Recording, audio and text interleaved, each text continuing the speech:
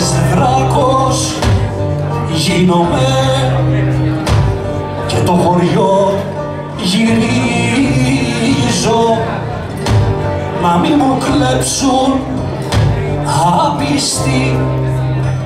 Μια βιόλα που ποτίζω από χατζίνα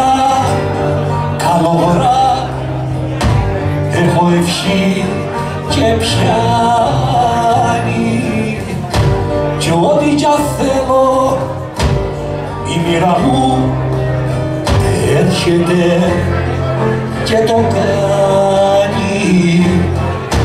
Κι αλλάσει μου την όψη μου σαν πέσει το σκοτάδι.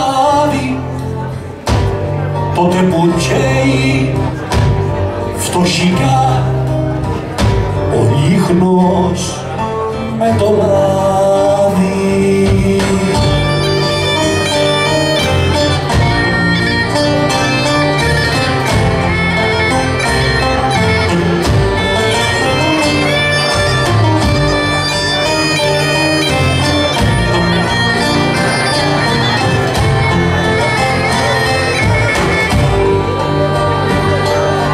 Τότε τι λέω, τη γυφιά κι αλλάξω σου σου μοιάζω. Και στου θεριού το περέστε όλες κατασταλάζω και έχει το φόβο το χωριό μέχρι κι οι ξενοπάτες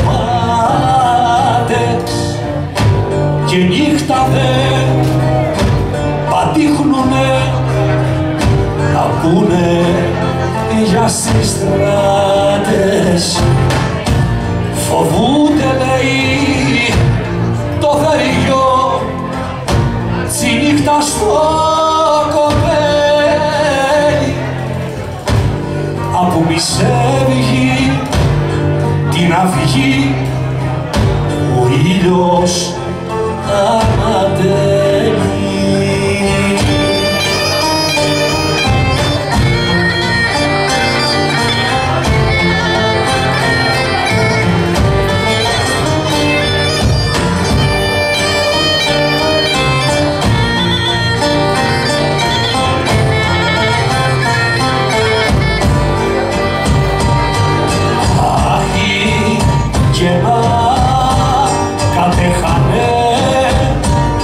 Amen.